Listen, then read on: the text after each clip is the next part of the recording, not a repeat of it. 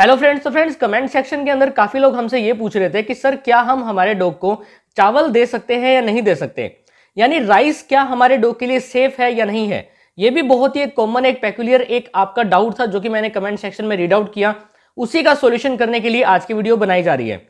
आपका एक और डाउट था कि, सर राइस को हम डेली दे सकते हैं या नहीं दे सकते? अगर दे तो हमको किस टाइम देना चाहिए, जो कि हमारे डॉग के लिए सेफ़ रहेगा? अगर हमारे डॉग के लिए चावल सेफ़ नहीं है तो उसके पीछे रीजन क्या है? तो ये छोटे छोटे क्वेश्चन इन्हीं क्वेश्चन का आंसर आज इस वीडियो में मैं आपको दे दूँगा। तो प्लीज़ आप इस वीडियो को एंड तक देखना और ऑब्ज़र्व करना जो भी पॉइंट मैं आपको बताऊँगा। और एक रिक्वेस्ट करूँगा अगर आप हमारे चैनल पे न्यू हो तो हमारे चैनल को आप सब्सक्राइब ज़रूर कर लेना बिकॉज़ हम डॉग्स और कैट्स के ऊपर मोस्ट इंपॉर्टेंट टॉपिक्स के ऊपर वीडियोस आपके सामने ला, लाते रहते हैं। और जैसा कि आपको पता है कि ये टॉपिक एक छोटा सा एक टॉपिक है लेकिन आपका तो एक डाउट है। तो आपके डाउट को क्लियर करना हमारा फ़र्ज़ है। सबसे पहले तो मेरे प्यारे दोस्तों, आपको मैं खुश कर देता हूँ, क्योंकि जो चावल है, आप अपने डॉग की डाइट के अंदर ऐड कर सकते हो।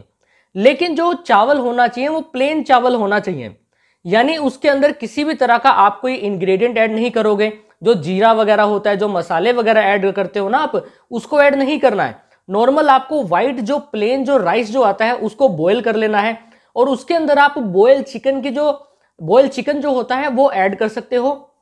बोनलेस भी ऐड कर सकते हो या बोन वाले देना चाहते हो तो आप वो भी ऐड कर सकते हो, जो कि आपके डॉग के डाइजेस्टिव सिस्टम को बेटर बना देगा। अगर आपका डॉग पहले ही डाइजेस्टिव सिस्टम से किसी भी तरह का इश्यू है, उसे सफ़र कर रहा है तो अगर आप चावल दे रहे हो विद ग्रेवी के साथ तो आपके डॉग का डाइजेशन स्ट्रांग हो जाएगा। यानी काफ़ी ज़्यादा इंटेस्टाइन है, अच्छे से वर्क करना स्टार्ट कर देगी। लेकिन अगर आपका डॉग चिकन खाना चाहता है बिकॉज़ चिकन आप, आपके डॉग को वैसे ही पसंद होता है कार्निवोर्स होते हैं वो, उनको पसंद है तो अगर आप चिकन को राइस के अंदर मिला के दोगे तो वो दी बेस्ट रहेगा आपके डॉग के लिए। बिकॉज़ राइस के अंदर प्रोटीन का सोर्स है और उसमें प्रोटीन है। काफ़ी ज़्यादा प्रोटीन हो जाएगा तो आपके डॉग की बॉडी की ग्रोथ तो भाई होनी ही है। अगर आपके घर में चिकन अलो नहीं है तो बाहर से आप एक चिकन की ग्रेवी आती है, जो कि पेडिग्री वगैरह कंपनी की, और भी बहुत सारी कंपनीज़ हैं, उनकी आती है तो आप उसका इस्तेमाल कर सकते हो, उसको चावल के अंदर मिला के आप अपने डॉग को दे सकते हो। तो ये तो आपको क्लियर हो गया होगा कि हाँ चावल हमारे डॉग के लिए सेफ़ रहेगा। अब आपका क्वेश्चन ये है कि सर क्या हमको, हमारे डॉग को दिन में तीनों टाइम राइस को देना चाहिए? तो इसका आंसर है नहीं मेरे प्यारे दोस्तों, दिन में आप एक टाइम अपने डॉग को राइस दीजिए और वो बेस्ट टाइम रहेगा दोपहर का टाइम दोपहर के टाइम आपको अपने डॉग को राइस देना चाहिए बिकॉज़ डाइजेस्टिव सिस्टम बेटर बनाएगा मॉर्निंग का भी और इवनिंग का भी. बेहतरीन सी बात ये बता देता हूँ इवनिंग का ज़्यादा बनाएगा बिकॉज़ नेक्स्ट डे मॉर्निंग में तो वैसे ही वो फ्रेश वगैरह होकर नॉर्मल पोजिशन में चला जाएगा. अब कई लोग बोल रहे थे कि सर चावल जो मैंने बहुत सारी वीडियोस के अंदर बताया कि चावल हमारे डॉग के लिए सेफ़ नहीं है। क्यों नहीं है वो सुन लीजिए। सबसे पहले तो आपने ये चीज़ नोटिस की होगी, कई बार हमारा जो डोग होता है, पोटी करने के बाद अपनी फिशिस को ओवन लिक करना स्टार्ट कर देता है। यानी उसको लिकिंग करना स्टार्ट कर दिया। तो इसका मतलब है कि जो डॉग ने चावल जो खाया है, उसको डाइजेस्ट नहीं कर पाया। अब वो जो चावल है, डाइजेस्ट होने में थोड़ा टाइम तो लगाते हैं भाई। एकदम से डाइजेस्ट नहीं होंगे कार्बोहाइड्रेट का रिच सोर्स है, लेकिन चावल अच्छे से डाइजेस्ट नहीं होते। और पाँच घंटे तक स्टमक के अंदर खाने को रहना बहुत ज़्यादा ज़रूरी है। अगर उससे पहले फिशिश कर ले तो जो चावल जो होते हैं, सारे के सारे बाहर निकल जाएँगे, या आपका डॉग उसको स्मेल करेगा, फिर उसको लिक करेगा। तो सबसे बड़ा तो इसका जो ना देने का रीज़न ये है कि चावल आपको इसलिए नहीं देना चाहिए बिकॉज़ अपने ही फिशिश को वो लिक करना स्टार्ट कर देता है। और डाइजेस्ट नहीं कर पाता। डाइजेशन से रिलेटेड इशू आता है। तो इसलिए मैं आपको ये बता दूँ कि चावल जब आप अपने डॉग की डाइट के अंदर ऐड करो तो सबसे पहले उसकी स्मॉल क्वांटिटी दो। आपको लार्ज क्वांटिटी में नहीं देना है, तीनों टाइम नहीं देना बिल्कुल मॉडरेट सा देना है और आपको एब्जॉर्ब करना है कि मेरा डॉग इसको डाइजेस्ट कर भी पा रहा है, नहीं कर पा रहा। अगर वो डाइजेस्ट नहीं कर पा रहा तो भाई अभी इसको बंद कर देना। और भी दूसरे जो प्रोडक्ट्स होते हैं, जो कि प्रोटीन रिच होते हैं, आप वो दे सकते हो, दूसरी चीज़ें खाने के लिए उसको दे सकते हो। तो स्पेशली प्रोटीन का किस्सा अगर मैं आपको बताऊँ तो राइस के अंदर प्रोटीन कंटेंट हाई है, लेकिन कार्बोहाइड्रेट भी एक पाया जाता है, लेकिन वो लिटिल क्वांटिटी में होता है।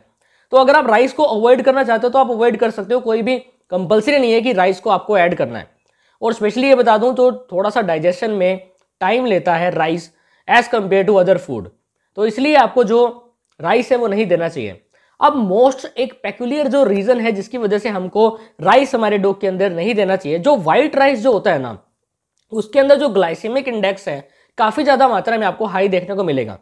जिसकी वजह से ब्लड के अंदर जो ग्लूकोज का जो लेवल है, उसके अंदर वेरिएशन आएगी। मीन्स डायबिटिक वगैरह का भी सिस्टम देखने को आपको मिल सकता है। तो इसके ऊपर हम एक डीप एक वीडियो लेके आएँगे कंप्लीटली आपको नॉलेज देंगे, बताएँगे कि ये इंडेक्स क्या होता है, इससे क्या क्या इफेक्ट्स पड़ते हैं। तो इसी वीडियोस को, इन्हीं तरह की वीडियोस को वॉच करने के लिए हमारे चैनल को आप सब्सक्राइब ज़रूर कर देना बिकॉज़ हम डॉग्स और कैट दोनों के ऊपर मोस्ट इंपॉर्टेंट टॉपिक्स पर वीडियो लाते रहते हैं। तो आपके डॉग के लिए राइस सेफ़ इसलिए नहीं होगा बिकॉज़ उसका ग्लाइसेमिक इंडेक्स काफ़ी ज़्यादा हाई होता है और जिसकी वजह से ब्लड के अंदर ग्लूकोज का लेवल भी वेरिएशन करेगा वेरिएबल होगा वो।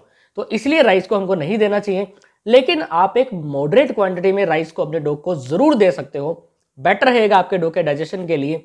और अगर अभी इमीडिएटली आप उसको दे रहे हो डाइट के अंदर तो पहले मॉडरेट क्वांटिटी में दो।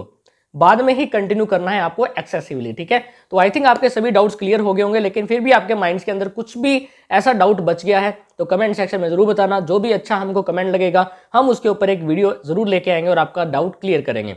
तो मैं आशा करूँगा आज की जो हमने वीडियो बनाई है, आपके लिए बेनिफिशियल रही होगी। Thank you so much for watching this and please do like subscribe comment and share thank you so much जय हिंद जय भारत